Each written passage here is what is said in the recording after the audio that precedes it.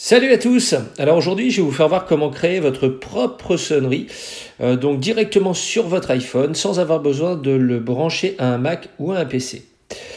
On n'aura pas non plus besoin de télécharger des applications euh, pour euh, arriver à créer notre sonnerie, on le, va le faire directement avec GarageBand.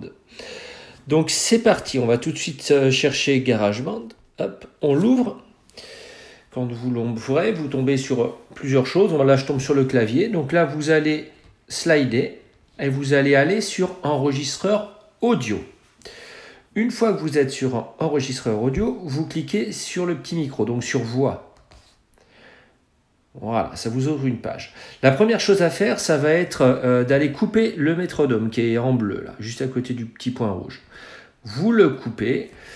Ensuite, vous allez sélectionner piste. Alors, piste, c'est le troisième bouton en partant de la gauche. Vous allez aller euh, complètement à droite, à côté de la petite clé, là, un peu plus sur la droite, il y a un tout petit plus, il n'est pas facile à voir. Vous allez cliquer dessus. Donc là, vous allez, euh, vous voyez section A, vous sélectionnez. Et là, vous allez euh, passer en mode automatique. Le mode automatique vous permettra de mettre votre sonnerie à 30 secondes. Faut savoir que sur un iPhone, une sonnerie ne dépasse pas les 30 secondes. Là, ça le fera automatiquement. Quand c'est fait, vous appuyez sur OK. Ensuite, vous allez sur euh, le bouton, la toute petite boucle, donc juste à côté de, la clé. là. Vous l'ouvrez. Ensuite, vous allez euh, choisir musique. Dans votre musique, bah, vous allez aller choisir directement là où vous voulez chercher le morceau. Donc, euh, par exemple, on va prendre album. Moi, je vais prendre celle-ci et je vais prendre. Tac, tac, tac. Qu'est-ce qu'on va prendre? On va prendre la deuxième. Voilà. Donc là, vous entendez que la musique se lance. Donc là, vous allez faire deux tapes sur le, le morceau voulu et vous allez garder votre doigt appuyé. Voilà. Et vous allez faire un slide sur la gauche. Voilà. Et vous arrivez donc sur la page où il vous dispose votre morceau. Ensuite, vous allez aller sur la petite euh, flèche qui va vers le bas, donc juste à gauche de l'écran. Voilà, ça ouvre mes morceaux. Vous allez sur mes morceaux. Vous choisissez le morceau que, donc, vous avez sélectionné. En l'occurrence, là, il s'appelle mon morceau. Là, vous allez appuyer sur euh, donc euh, mon morceau en appui long. vous relâchez et là vous avez plein d'options. Nous, ce qui va nous intéresser, c'est l'option euh, partager le morceau. Donc on va sur partager.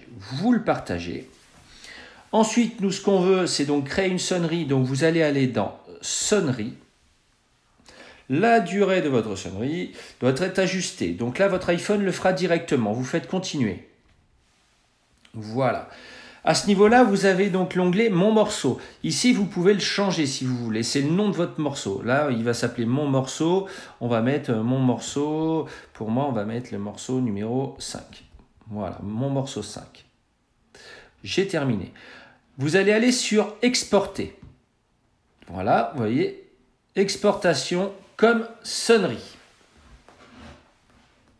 C'est OK. Et ben voilà, c'est fini. C'est magnifique. Vous ressortez et vous allez aller directement dans vos réglages, dans sonnerie et vibration. Et là, vous allez voir apparaître votre sonnerie. Voilà, donc là, vous voyez, mon morceau numéro 5, il est ici. Si on clique dessus, la musique se lance.